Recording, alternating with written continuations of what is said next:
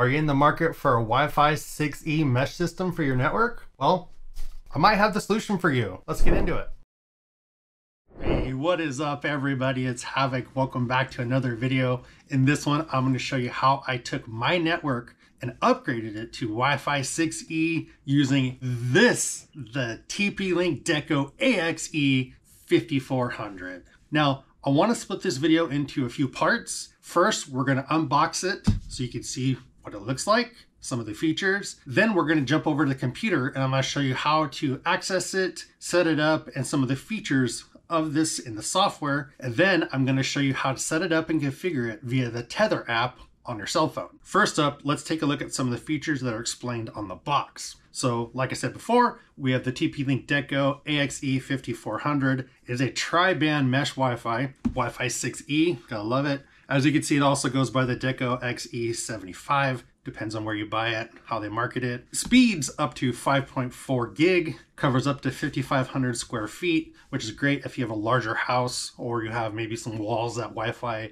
struggles to get through. Uh, this should be pretty good for you. Connect up to 200 devices. I don't need 200 devices. You might, who knows? And it's compatible with HomeShield, Alexa, and Google Home. Over on this side of the box, we have more stuff about it. You can see Wi-Fi dead zone killer. Uh, we already talked about the speeds, 200 devices, seamless AI driven mesh. I don't know what that's about, but I'm excited to see. Easy setup with the Deco app. We talked about that at the intro and then works with all Deco models. So if you have other devices that you're using for your mesh system, this will plug right in. So I do have other Wi-Fi mesh stuff from uh, TP-Link Deco. So I'm curious how this all works into everything. Then on the back, you have a more kind of marketing stuff, Dead Zone Killer AI uh, driven, uh, AI roaming. So it looks like maybe it'll switch to different Deco devices in your house, depending on where you're located. Uh, seamless roaming with one Wi-Fi name, that's going to be clutch for me. I usually run a couple different networks uh, for testing for uh, home Wi-Fi, and then I have another network I use just for my uh, barbecue grills because I run Bottleneck Barbecue as a kind of a hobby. So that's something there that might come in handy for me. HomeShield, and talks about the HomeShield stuff there. On this side, just more specifications about everything. Uh, setup just got a lot easier, so they could do the Deco app. So yeah, that's pretty much the box. And uh, let's go ahead and open it up and take a look at the device. So opening the packaging, it had very minimal cardboard, which, you know, we like three things in it two devices and a box with accessories. So let's put the devices to the side over here and we'll look at the accessory box. So gives you instructions here on how to actually set everything up how to plug it in. We'll go through that on our own. Let's see if we can open this without destroying it. There we go. So inside the box here we have a network cable. That's good. You'll need that. Probably only has one. Yep.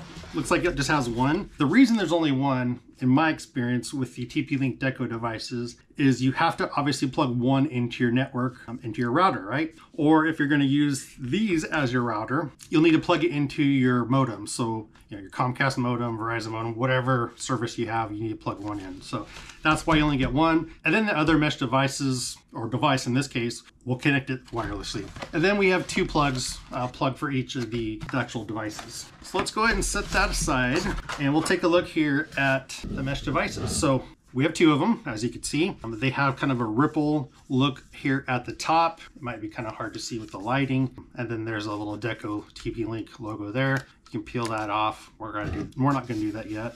Down here um, towards the bottom, it says uh, Deco 6E in case you forget the brand or what kind of network you have installed. Then on the back side here, we have the TP-Link logo, three RJ45 ports, and then the power in port. On the bottom, you have the usual information about your MAC address and your serial number. Talks about the TP-Link device. Um, probably says on there the, let's see if it does. It says on here the, uh, yeah, the power adapter, what you need. Something that was interesting about this is these fans, kind of fan looking things here. Let's see if a little camera will focus in here for us. There you go. These fan looking things here, there's no rubber on it. So they just slide around. Kind of interesting that something like that wasn't included. So they don't really stay still. I think like the other Deco stuff that I have do. But really that's all there is to it when it comes to unboxing this. So let me get it plugged into the network. We'll head over to the computer and kind of see what the setup is all about from the PC. Here we are over at the computer and I'm actually on my phone because the Deco devices require you to use their app to get them initially set up. So what the plan here is going to be is, so what I'm planning to do here is set this up via the app and then we can take a look at it via the desktop browser. You want to open the Deco app on your phone and if you don't have it, obviously download it. You might have to create an account. Go ahead and do that. And at the top right, you see the plus. We're going to press that. And then you have a couple items here. If you already have an established network, you can do add a Deco unit. For this example, I'm going to go like it's brand new and I'm going to create a network. So we'll create a network. Now we need to find the actual device itself. And if you remember earlier, we had the XE75. So we'll scroll down here and then you can see the XE75 and 75 Pro. So we'll click that. It's going to tell us what we need to get this set up on the network. We already have all that and wants us to power off our, our modem. We'll go ahead and do that. And then it tells you how to plug everything in and then check to make sure your modem is ready to go. And then what you want to do is take a look at your Deco device and make sure it's flashing a blue light. Mine is, but if it's not, there's probably an error with it and you'll need to kind of click the help there and figure out what's going on with it. More than likely, you probably just need to reboot it or hit the reset uh, switch on the bottom. You'll need like a paper clip to do that.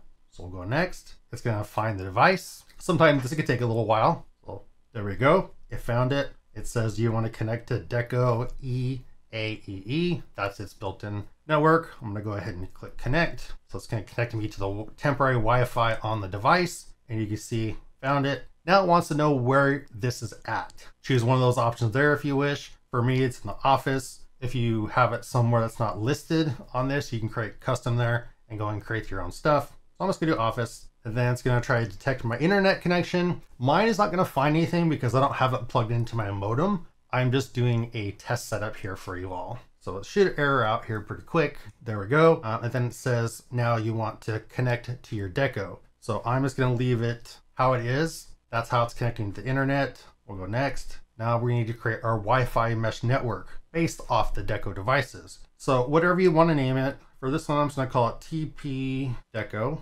And then our super secure password of one, two, three, four, five, six, seven, eight. And we'll make sure that's correct. One, two, three, four, five, six, seven, eight. Obviously on your network, don't do one, two, three, four, five, six, seven, eight. This is just for my test for this video. So we'll go ahead and hit next, and then it's going to create the Wi-Fi network on the Deco device. Should pop up here asking me if I want to connect to that new network. So after it's done creating here, there you go. And it says save your Wi-Fi to your phone, uh, save Wi-Fi access to your phone for quicker access. I'll just go next here. And then do I want to save this network? I'm not gonna for this example. And now it says, do you want to connect to your device? And I do. So I'm just gonna go connect. And then my phone is gonna say, hey, what do you want to connect to? Let's go look at the settings here. And then you see Deco EAEE. That is what we're connected to now because that's the temporary one. What we want is the TP Deco. So we'll click TP Deco and we'll do one, two, three, four, five, six, seven, eight. So our password we set. We'll make sure it's correct. One, two, three, four, five, six, seven, eight. Um, I don't want it to auto connect because I don't want my phone to auto connect to this so then I get no internet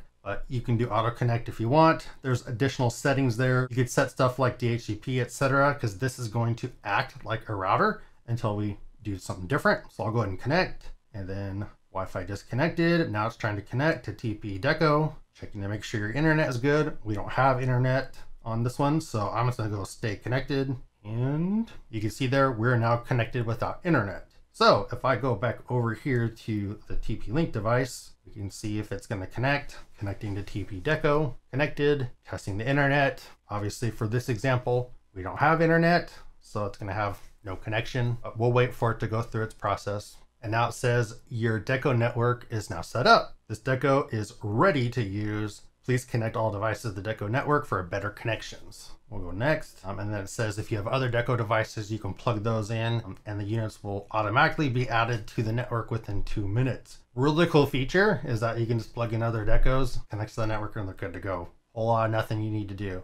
Well, next, and then you wait till your Deco's LEDs pulse blue, then you'll be all set. Got it. And there we go. Now in the app on the phone, you could see at the top, it's TP under Deco. That is the network specifically for this device I set up. Um, we have an error unable to connect to the internet because I don't have it set up to connect to the internet. Um, but you can go in here and do Wi-Fi settings for it and you can set all that stuff up here. And you see at the bottom, we have the six gigahertz network because we talked about the 6E access. you can go through and set up everything there. If you want a dedicated backhaul or Wi-Fi network and backhaul, we'll go back. And then over here, you have guest network options. I'm not gonna go through and set that up. That's very self-explanatory. Go back. You can see in the middle there is, it says no internet access, but it has like a little internet symbol on the left and then my deco on the right. And I called this one office. And so this will give you your overall network kind of map, if you will. I have one client connected, which is my phone. Um, and then we can do smart home stuff, learn more. That's basically it. We can click on the actual deco and here you see it's all crazy colored because it's not connecting to the internet. But you can see what IP address it has by default. And uh, what you should be able to do here is you take the IP address, you can type it in to the web browser on your PC if your PC is connected directly to the Deco, and then we can go in and take a look at some of the settings on the PC. So with the phone connected to the Wi-Fi of the TP-Link Deco, I went to its IP address. So for the example here, 192.168.68.1 in a web browser, and then asked you to type in the password that you use to set up your TP-Link account. You enter that, and this is the configuration page uh, via the website. So it's not great, to be completely honest.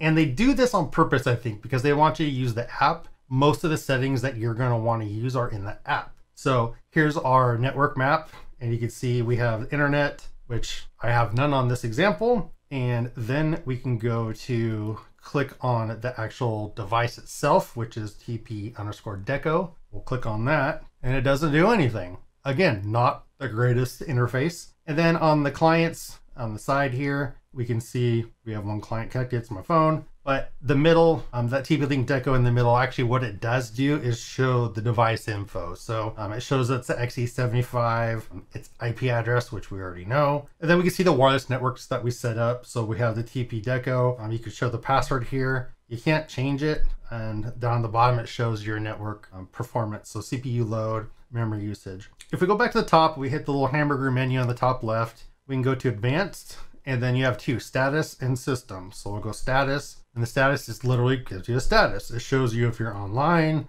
information about being online, your IP address, etc. Um, everything about your Wi-Fi and your guest network, not a whole lot of information there because obviously we're not connected, but even so, it doesn't provide a whole lot. Uh, we'll click advanced again, and then we'll go to system. And system, we get a few more options. So we have firmware upgrade. Uh, we can click on that and it's gonna say, hey, where is it at? Do you already have it? Online upgrade. If I was online, it could check for its own firmware updates. We can go to system log, and that kind of is just gonna show you all the logs of stuff that has happened, rebooting it, etc. And then over here we have time settings if you want to configure the time. Very simple. Uh, reboot if you want to reboot it. And then finally we have system parameters. You'd think system parameters would give us more options, um, but all we can do is enable a couple options here. So I mean if we enable that or that, we get no additional boxes and stuff to fill out. It just enables those features. And then we have search, which I don't know what we're going to search for. Uh, let's say maybe do WAN, see what it does. No search results. So as you can see, the web interface doesn't provide you a whole lot of options when it comes to configuring the mesh network. That is why they have the app. They're pushing you to go into the app and make those changes. So highly suggest that's kind of what you continue to do. Since this is not the greatest, you know, solution for like a Wi-Fi router, uh, it's really for the mesh setup. And there you have it. That's the TP-Link Deco XE75 Wi-Fi 6E mesh system. Look at that bad boy. Overall, seems like a pretty great device. Uh, if you're interested in learning more about it or want to pick one up, I'll put link in the description below. And if you have any questions or things you want to see uh, about the network settings and maybe the app, feel free to let me know in the comments and I'll do my best to get back to you. Until next time, stay safe, have fun, and as always, keep doing good.